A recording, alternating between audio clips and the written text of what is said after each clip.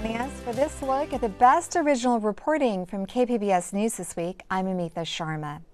Coming up, how are weather experts explaining the flooding that hit San Diego on Monday? That's part of our extensive coverage of this week's storm and the local recovery. A status check on how many people are experiencing homelessness. We'll show you the work done by volunteers for the point in time count. And San Diego makes changes to its surveillance policy. Watchdogs say it will weaken transparency. The week started with a disaster that many San Diegans may not recover from anytime soon. Intense rain brought widespread flooding, with southeast San Diego among the hardest hit. Andrew Bowen, Melissa May, and Eric Anderson met with flood victims and meteorologists. This is my little home. This is my safe place, the place that I come and feel the most comfortable and safe and warm. Robert Lopez has lived in this apartment complex on National Avenue for about seven months. He was working an early shift as a restaurant manager downtown when the downpour started. He came home in the afternoon to this. I feel like I lost everything. It's devastating. The sudden and rapid rainfall overwhelmed San Diego's storm drain system. The apartments here sit right next to Chollas Creek, which quickly became clogged with trash and vegetation washed away from upstream. Lopez has no family in San Diego and is now homeless. I basically just, you know, had a savior, I had an angel with me, uh, Sean, my best friend. You know, if it wasn't for her, I wouldn't have had a place to stay. To put this into perspective, the last storm of this severity was in the 1930s. San Diego Mayor Todd Gloria declared a state of emergency in response to the floods. He said Tuesday there was no way the city could have been fully prepared. Unprecedented event of this nature uh, with no loss of life is a miracle, uh, but it was made possible because of the diligence of a lot of public servants uh, who stepped into the breach and a lot of neighbors who came together to support one another. We need that same kind of can do spirit over the next number of weeks and months in order to make sure that everyone who's been impacted are able to survive this and hopefully come out of this uh, in, a, in a better place. Still, San Diego is well aware of its underfunded storm drain system. A report released just this month found the city would need to raise an additional $1.6 billion in taxes or fees to fund all of its storm drain needs. That's more than the unfunded needs of San Diego's roads, sidewalks, and streetlights combined. Andrew Bowen, KPBS News. The Grantville Station Business Park on Mission Gorge Road is right next to a part of the San Diego River that normally looks something like this. But after Monday's flooding, water overflowed over the concrete barriers and caused major damage to all the businesses, including Traveler Coffee Roaster and One Season Brewing. So the water stretched all the way, you couldn't even get into the parking lot. And uh, I just waited it out in horror, didn't sleep at all Monday night. That's owner Dan Romeo, who couldn't believe what he saw when he walked into his business on Tuesday. To be honest with you, I mean, this has been, you know, six years of hard work, so I cried. you know? Um, yeah, I mean, it's all gone at the end of the day. And, uh, you know, just for it to end like this. Romeo says his business had never really recovered from the pandemic and was actually in the process of selling some of his assets but now they're you know, they're worthless. You know, everything here just got destroyed. I'm in the in the middle of just trying to put the pieces together and trying to salvage whatever can be salvaged over the next couple weeks. And I don't yeah I don't have flood insurance, so this is all just a massive loss.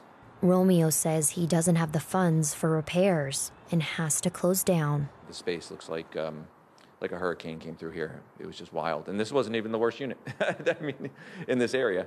Uh, some of these other units are, it's even crazier. Like Native Poppy, located at the end of the business park. I opened the door, just like water rushed out and all of our merchandise and gifts and supplies were just rushing by me. Native Poppy founder Natalie Gill says their warehouse looked like an aquarium.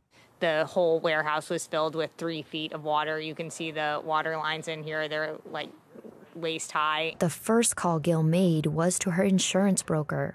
I was panicking. Um, but I mean, without flood insurance, and he said even if we did have flood insurance, like that doesn't necessarily mean everything would be covered. So I don't know. I think that all, like so many San Diegans right now, this was a disaster. Like, I don't think anybody knows how to proceed. Gill and Romeo each estimate at least $100,000 in damage. And Native Poppy is still recovering from a car crashing into one of their flower shops a year and a half ago.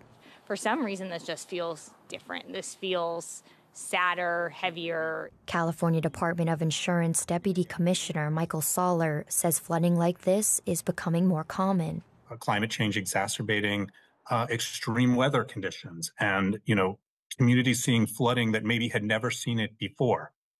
Um, and, and, and, you know, so unfortunately, that's not the time that you want to learn that, that your homeowner's insurance or your business coverage doesn't cover flooding.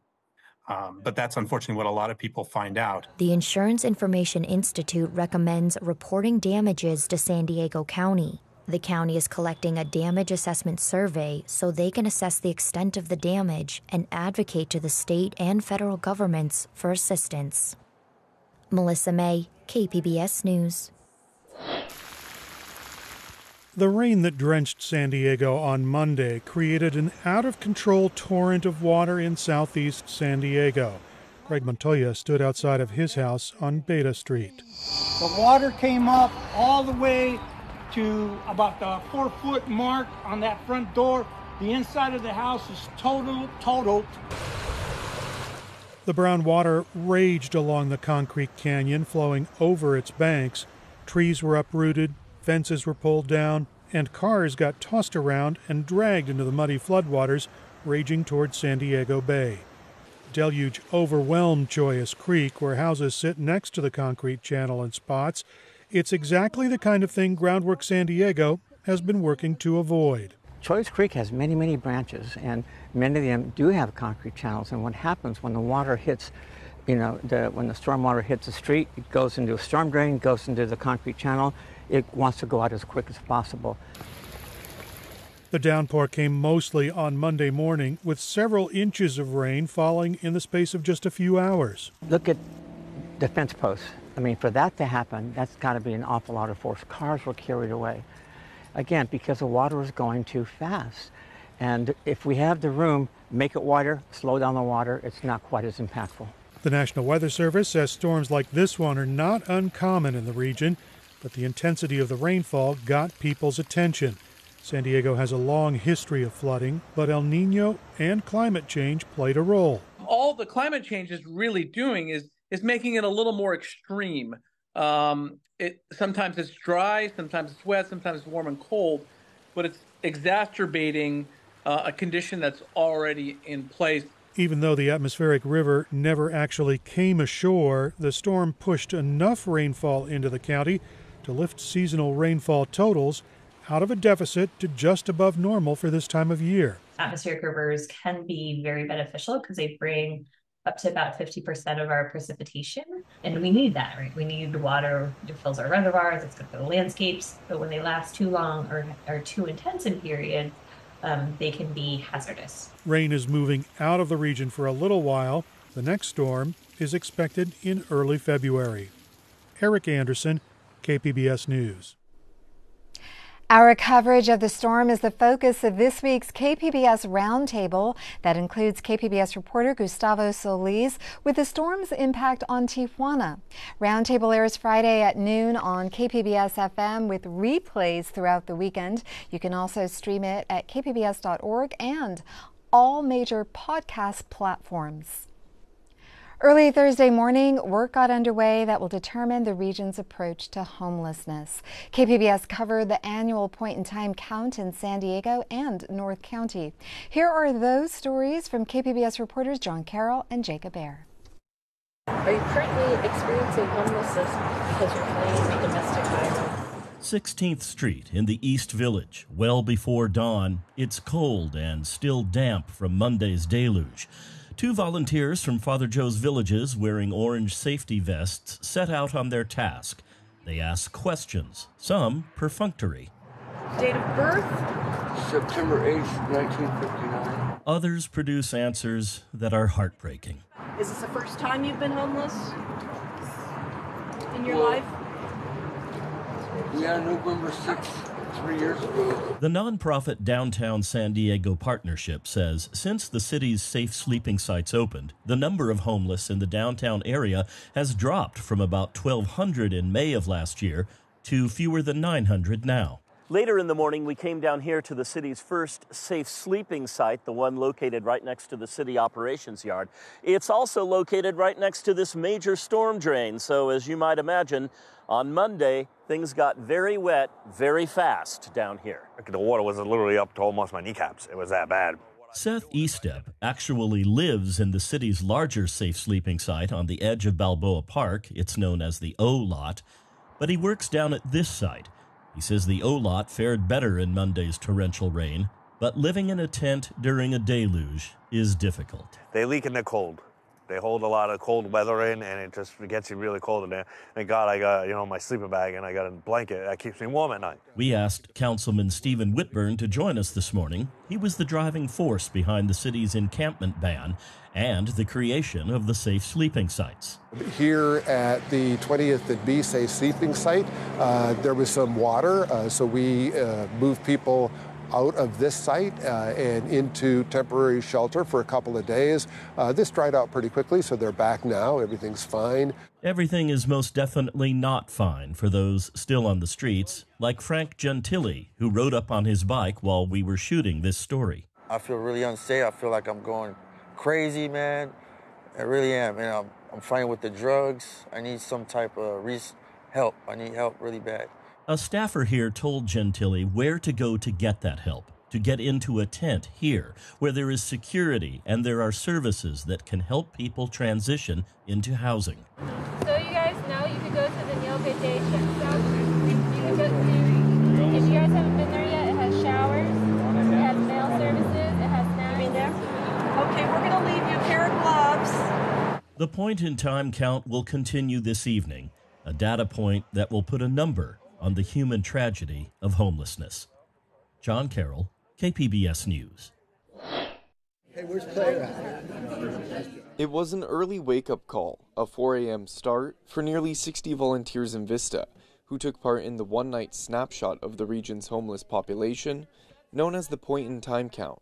You're looking for people that are covering their windows at night. So somebody that might have a sunshade up, somebody that has a bunch of trash in the back of the vehicle, right? KPBS joined a team of three volunteers. Catherine Manis, Joanne Foss, and Alicia Tabares as they set out in the dark to cover their assigned district along the Vista San Marcos border. I, I work with a lot of the families who um, unfortunately don't have a house or are living in their vehicles. Driving through business parks, canyons, and almost everywhere in between, the group searched for people without a proper home. It's not a perfect system, Volunteers look for clues to give them insight on where people may be sleeping. But we did find several families living in their, like in the RVs and their cars, individuals who are, um, you know, working also. During the four hours of scanning, the team encountered numerous people without homes and interviewed those who were willing to talk. One of them was Jason, who didn't want to use his last name. We're, we're there, there's some good people out here, trying hard, working hard, doing their part. I've always like I've, I've always paid taxes. I've always held a job. I've never taken a subsidy from the government. I've never taken food stamps and always supported my children. Always done that all the time. He was a longtime Oceanside resident and became homeless in the city six years ago. Now he sleeps in a van near his place of work in Vista. He says the cost of food, gas, and housing are just too much. Prices were going up in rent, especially here in San Diego. Couldn't afford to live. You know, my wife at the time was she's permanently disabled with asthma, had two children. On a single income, just couldn't afford it anymore. The data from the point in time count really matters. It's used to determine how to distribute federal homeless relief funding. Sturman says those funds should go towards a regional solution. North County homelessness isn't necessarily a singular city problem we have the Sprinter line up here. This was 78 corridor, right? And so a lot of our clients travel across that 78 corridor. One night they might be in Escondido, the next night they might be in Vista, Oceanside, Carlsbad. As for Tabares, who grew up in Vista and was forced out of the county due to cost of living, it's personal. The concerns that I have uh, for the community where I grew up in, it's been a lot of just not having access to affordable housing Official numbers for the full count are expected in the late spring or early summer. Jacob Aere, KPBS News. San Diego is a leader among cities that are updating their zoning laws to allow for more housing. But most of the new homes being built are studios and one bedroom apartments. KPBS Metro reporter Andrew Bowen says there's a growing movement to make family size apartments easier to build with a simple change to the building code. Between this building and here will be a small courtyard that will become a shared courtyard for those who live here, as well as the seven families in this unit here. David Pearson is showing me around the backyard of a house in San Diego's Grant Hill neighborhood. He's the architect on a small apartment building here that's set to break ground this summer. This project is a good example of what we do. Uh, it's keeping the home up front, it's adding seven units in the back. Those units are going to be uh, studios and two bedrooms. Uh, the two bedrooms will have a den slash office space that could be used uh, even for a nursery and uh, in a flexible way. Designing buildings is complicated and every inch counts. Pearson says he was able to incorporate these family sized apartments by designing the project with only one staircase. He says so called single stair buildings offer architects more flexibility. Less of the building is taken up by hallways and staircases. That makes it easier to incorporate two and three bedroom apartments with windows on multiple sides. So it's a nice light filled unit uh, that can rely less on you know artificial lighting. It can rely less on expensive mechanical equipment to heat and cool, because the the residents of that home have just more control of of how to open a window and create a nice breeze through the unit.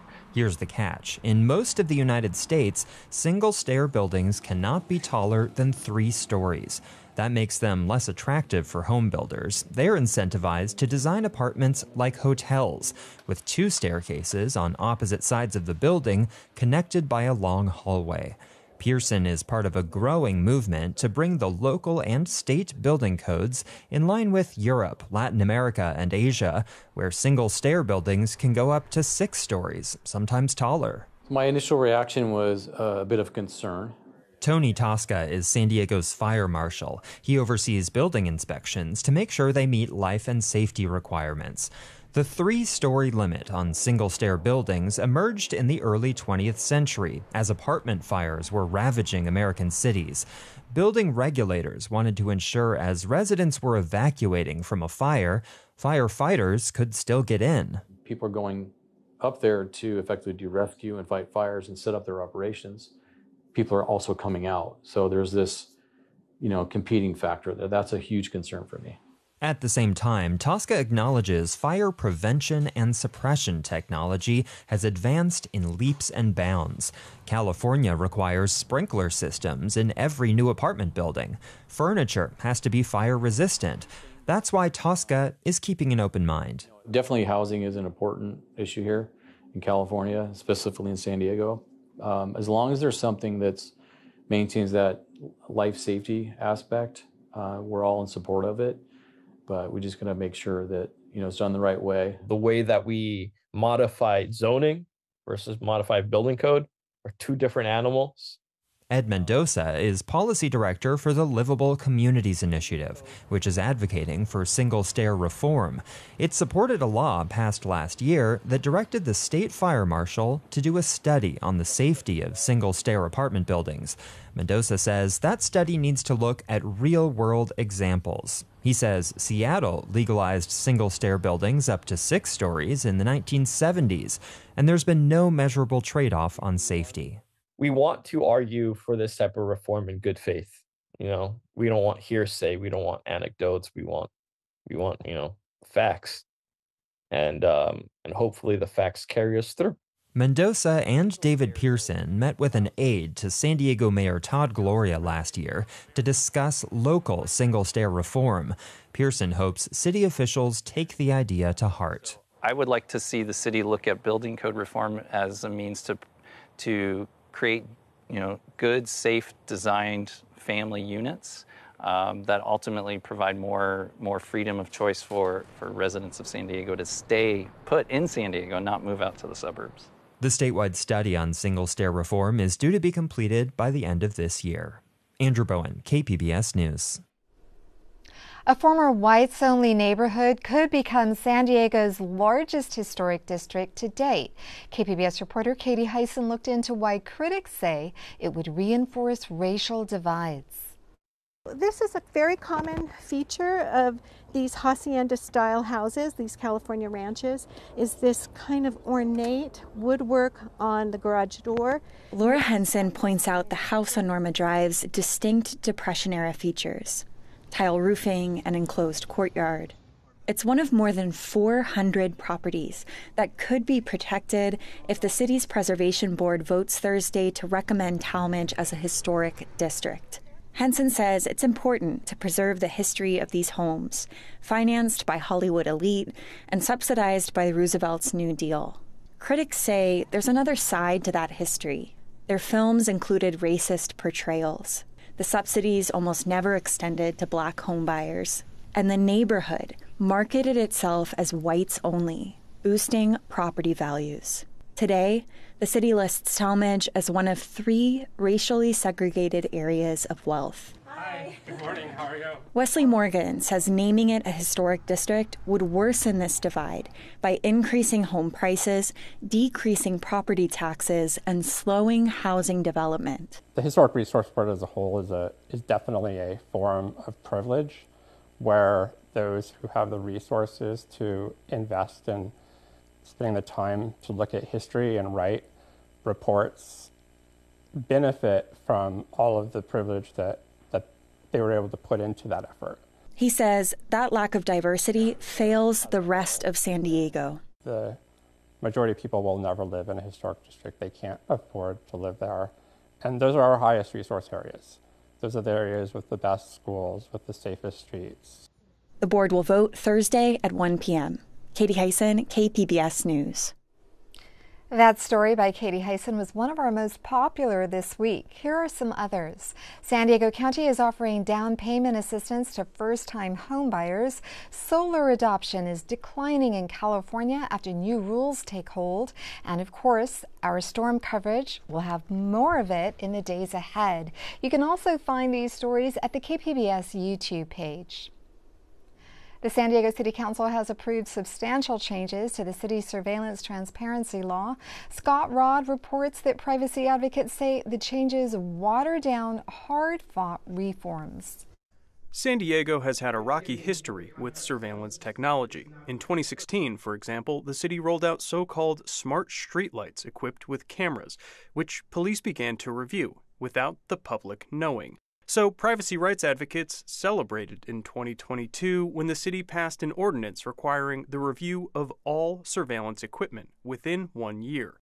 Fast forward to today. That deadline has been pushed back by several years. Few technologies have been fully vetted, and privacy rights advocates sound like this.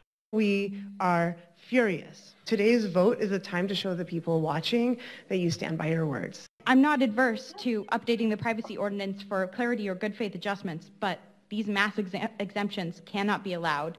That was Lily Irani and Talitha Wright speaking during the City Council's regular meeting on Tuesday. The council voted to exempt technologies such as surveillance cameras and police databases from review. Mayor Todd Gloria's office pushed for the changes, arguing the ordinance is too broad and would require time consuming reviews for basic tools, including email newsletter software and social media apps. And the changes will likely keep coming. Here's Councilmember Marni Von Wilpert, who chairs the city's Public Safety Committee. I will bring this ordinance forward for amendments as often as we need because we are going to have to work to get this right. I've now started the voting system. Please cast your vote. Council members approved the changes with a 6 to 2 vote. Scott Rodd, KPBS News. The storm in San Diego isn't the only big environmental news this week. Another landslide in Orange County is disrupting train traffic. Alexander Nguyen has details on when the tracks will reopen. The Los Angeles San Diego San Luis Obispo Rail Corridor, or LOSSAN, is the second busiest intercity rail corridor in the nation, according to the San Diego Association of Governments. It's San Diego's only rail connection to the rest of the nation. So when rail traffic stops, because a landslide threatens the tracks, it not only disrupts passenger service. There was a woman there who was Spanish speaking, and she had ridden the train from Riverside. And she landed at the Laguna Niguel Mission Viejo station, and she was trying to get to Vista. She didn't know the trains had been closed down, and she was stuck. It also disrupts commerce. Just as important are the billion dollars in commerce that flows through the rail corridor every year. Congressman Mike Levin highlights that point during his news conference today, announcing funding to replace the 109 year old San Dieguito Railway River Bridge. This morning, you know, we had uh, hoped to go all the way up to Los Angeles and Union Station. Instead, Levin ended his rail trip in Oceanside before driving to San Clemente to tour the landslide, which took out a pedestrian bridge. Mother Nature will win. Mother Nature always wins, and we have to be mindful uh, that regardless of what we do with this corridor, if it stays where it is or if parts of it are relocated, Regardless, any event, it's going to take significant federal investment. That's where the 53.8 million in funding from the bipartisan infrastructure bill comes in. It will be used to replace the bridge, moving it from a single track to a double track and raising the bridge by 8 feet because of sea level rise. It will also add a special stop at the Del Mar Fairgrounds. State Senator Catherine Blakespear says it's a precursor to moving the tracks underground and away from the bluffs in Del Mar. The train is our solution, part of our solution to the climate crisis, to our equity concerns, to reducing congestion on local roads, to improving the well being and health of communities. A few years ago, several bluff collapses in Del Mar disrupted rail service on the corridor. Now that's happening in San Clemente. In the past 18 months, several landslides have happened here in San Clemente. Over there is where Casa Romantica happened, and now this landslide. San Clemente's council member Chris Duncan was not pleased, but he says the corridor should reopen in a few days. It's frustrating for me, but it's really frustrating for our residents, right, who get to enjoy this beach trail. Securing funding for future infrastructure needs on the corridor is why Levin also announced today half a million dollars in additional funding to get LOSSAN onto the Corridor ID program. The program helps ID critical rail infrastructure needs. Alexander Nguyen, KPBS News. We hope you enjoyed this look at KPBS News this week. I'm Amita Sharma. Thank you for joining us.